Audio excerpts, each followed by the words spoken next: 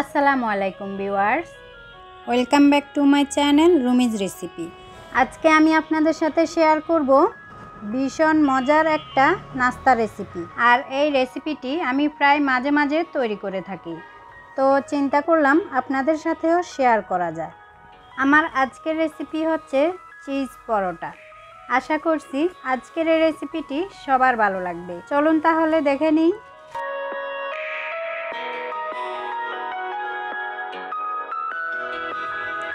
এখানে নিয়ে নিচ্ছি এক কাপ পরিমাণ ময়দা, স্বাদ মতো লবণ, আর দিয়ে দিচ্ছি এক চা চামচ পরিমাণ চিনি।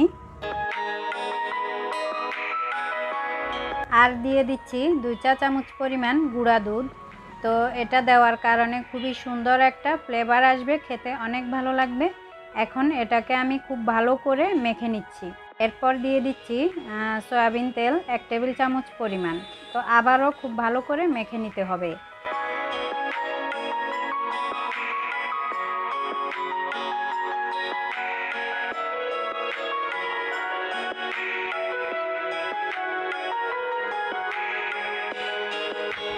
এখন দিয়ে দিচ্ছি নর্মাল পানি। পানি আমি একটু একটু করে দিয়ে দিচ্ছি, একবারে খুব বেশি পানি দেওয়া যাবে না।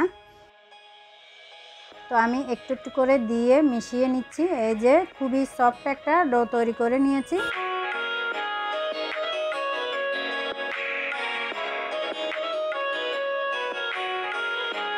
এখন আমি এই ডোটাকে ডাকনা দিয়ে ডেকে আধা ঘণ্টার মতো রেস্টে রেখে দিব। এই ফাঁকে আমি পরোটার ভিতরের পুরটা রেডি করে নিব।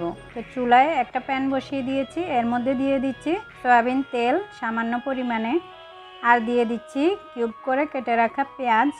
তো পেঁয়াজ হালকা একটু নরম করে ভেজে নিতে হবে। এর মধ্যে দিয়ে দিচ্ছি সামান্য পরিমাণে লবণ। এরপর দিয়ে দিচ্ছি কাঁচামরিচ কুচি, ধনিয়া পাতা কুচি এখন নেড়ে চেড়ে হালকা একটু ভেজে নিব। তবে আপনারা চাইলে এখানে যে কোনো সবজিও ইউজ করতে পারেন। গাজর, বাঁধাকপি, এ টাইপের। এখন দিয়ে দিচ্ছি আমি টমেটো কুচি।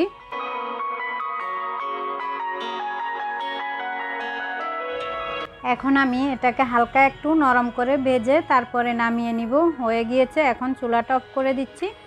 তো দেখতেই পাচ্ছেন, হয়ে গিয়েছে। মিশ্রণটা কিন্তু ঠান্ডা করে নিতে হবে। ঠান্ডা হয়ে গিয়েছে। এখন আমি এর মধ্যে দিয়ে দিচ্ছি মোজারেলা চিজ। এটাকে এর মধ্যে খুব ভালো করে মিশিয়ে নিব। তো ফিরে এলাম আধা ঘণ্টা পর। এখন আমি ডোটাকে হাত দিয়ে খুব ভালো করে মধে নিচ্ছি।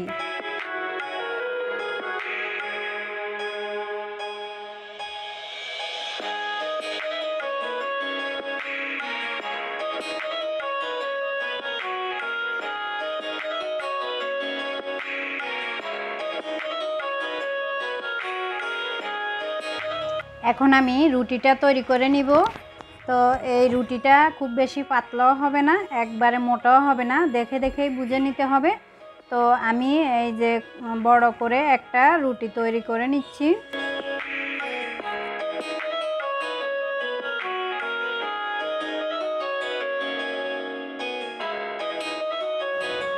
ভিউয়ার্স আমি কিন্তু একবারে চাঁদের মতো গোল করে রুটি বেলতে পারি না। আমি যেরকম পারি সেরকমই করতেছি। তবে এখানে খুব বেশি গোল করাও লাগবে না। তো এখন এর মধ্যে দিয়ে দিচ্ছি মিশ্রণটা। এটাকে দিয়ে আমি আরও একটু চিজ দিয়ে দিচ্ছি। আমার কাছে কম মনে হয়েছে তাই। যেহেতু এটা চিজি পরোটা, তাই চিজের পরিমাণটা একটু বাড়িয়েই দিতে হবে।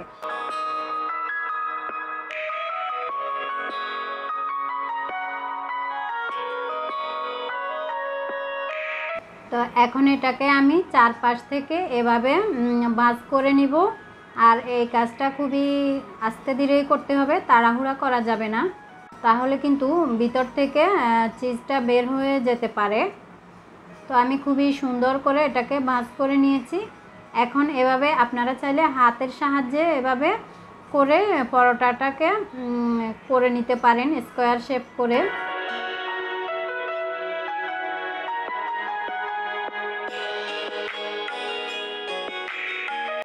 আমি এটাকে বেলুন দিয়ে সুন্দর করে আস্তে করে বেলে নিচ্ছি।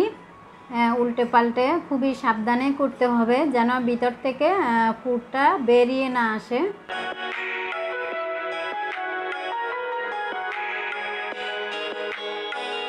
তো খুব বেশি পাতলা করা যাবে না, দেখতেই পাচ্ছেন কেমনটা হবে। তো ভিউয়ার্স আমি হাত দিয়ে এখন একটু স্কোয়ার শেপ করে নিচ্ছি। তো এখন চলে যাব বাজতে তো চুলায় একটা প্যান বসিয়ে দিয়েছি। এর মধ্যে দিয়ে দিচ্ছি এক টেবিল চামচ পরিমাণ বাটার। বাটারটা গলে গেলে এর মধ্যে পরোটাটা দিয়ে দিচ্ছি।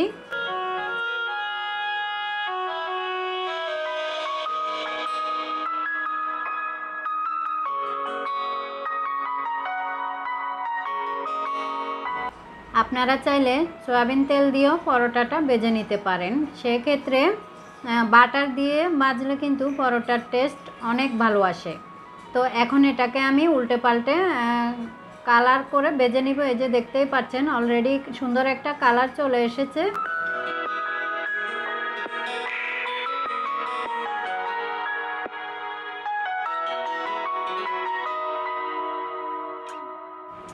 তো পরোটা হয়ে গিয়েছে। এখন আমি আপনাদেরকে সার্ভ করে দেখাবো। তো এটাকে আমি পছন্দ মতো সাইজ করে কেটে নিচ্ছি। তো দেখতেই পাচ্ছেন কালারটা কতটা সুন্দর হয়েছে আর খুবই ইজি একটা নাস্তা রেসিপি এই রেসিপিটি আমি প্রায় মাঝে মাঝে তৈরি করে থাকি আমার বাচ্চাদের জন্য। যেহেতু ওরা চিজ খেতে অনেক পছন্দ করে, তো চিন্তা করলাম আপনাদের বাচ্চাদের জন্য আপনারা এই রেসিপিটি তৈরি করতে পারেন। বাচ্চাদের টিফিনেও দিতে পারেন এবং বিকালের নাস্তাতেও রাখতে পারেন। তো দেখুন, কালারটা কতটা সুন্দর হয়েছে। আশা করি আজকের রেসিপিটি সবার ভালো লেগেছে। ভালো লাগলে লাইক করবেন, কমেন্ট করে জানাবেন আজকের রেসিপিটি কেমন লাগল। আর বাসায় অবশ্যই ট্রাই করবেন। আমার এই রেসিপিটি ফলো করলে আপনাদের রেসিপিটিও একবারে পারফেক্ট হবে।